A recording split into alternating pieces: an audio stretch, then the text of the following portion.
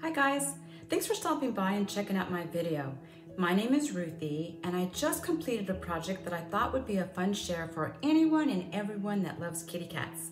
So just a little backstory, my son recently rescued a kitty cat and named her Nova and I have absolutely fallen in love with little Nova. Um, I've never had a cat, I didn't grow up around kitty cats, so the whole cat experience is new to me. But one thing I noticed about Nova when she comes to visit is that she loves to sit on the windowsill and observe the outdoor life. The butterflies, the birds, the cars passing by, but every time I take her outside, she gets so irritated because she wants me to put her down so that she can roam and experience the outdoor life all on her own. But it's just too dangerous and I'm just so afraid she's going to get out of the yard or something and I would just feel awful. But it was something I really wanted to do. So then I started researching possible materials or products that I could buy so that I could build her a catio. And I found one.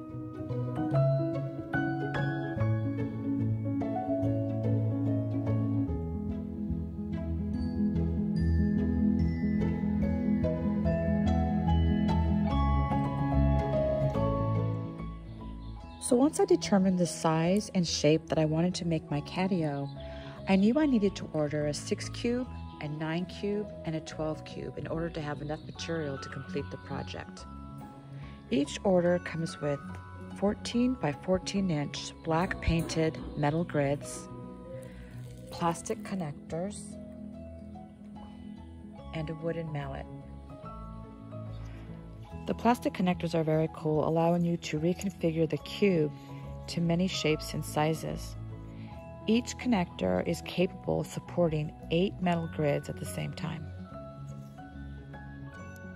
So like I said, each order comes with a wooden mallet, but you know, I didn't find it useful at all. Instead, I used needle nose pliers to help snap together the grid and connectors when my fingers were unable. Speaking of snapping, you need to hear or feel the snap when you connect each metal grid to the connector. If you don't, keep working it until you do. The structure will be unbelievably strong if everything is snapped together properly. And because I wanted to make this strong structure even stronger, I incorporated a few extras. Zip ties. They are not included with the order. I found these great interlocking floor mats at Hobby Lobby, 12 inch by 12 inch, and they fit just perfectly in the catio.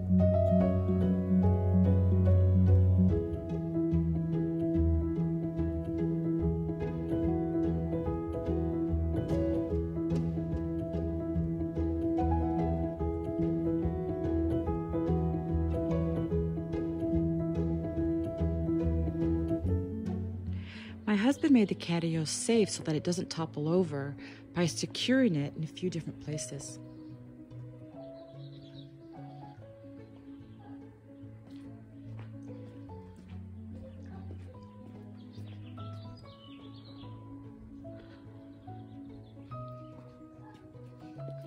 So I installed two doors in the catio. Put one here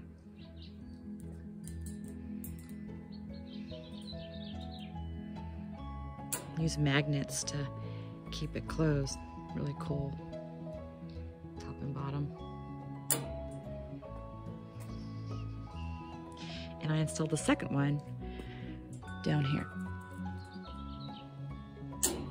And what I did was I built the entire catio first and then decided where I wanted the doors. I then used wire cutters to cut the metal grids out and then I sanded the sharp edges.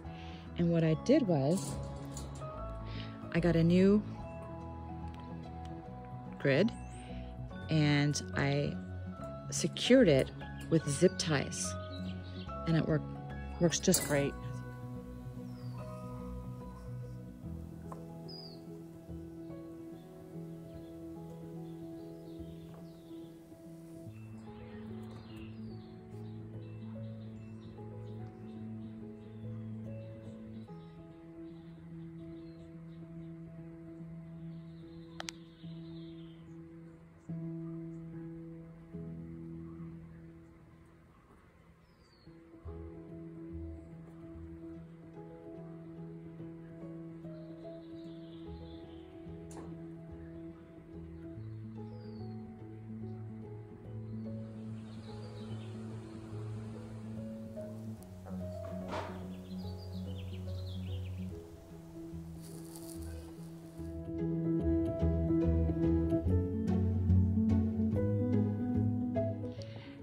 I'm so happy with the Catio.